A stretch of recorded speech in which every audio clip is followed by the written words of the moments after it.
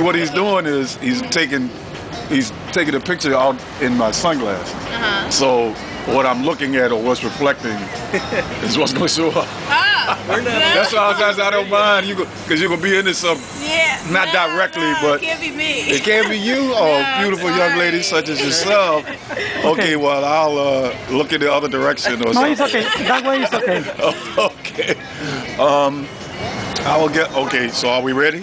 Yeah. Oh, okay. So what's the best thing about being down here in Carytown during the springtime? Uh, well, one first and foremost, the sun. You know, the energy, the uh, the new life. People uh, are a lot friendlier, um, and more apt to stop and converse and spend money. You know, that's that's why I'm out here to make some money. So, uh, plus, I just enjoy you know that time of year. It's like, you know, new beginnings, flowers sprouting, birds singing. You know, those type things. So it helps you know, it helps uplift my spirits.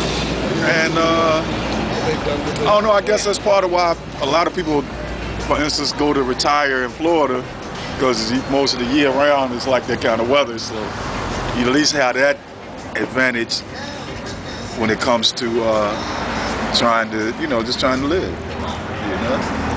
All right. Harry. You give it a go?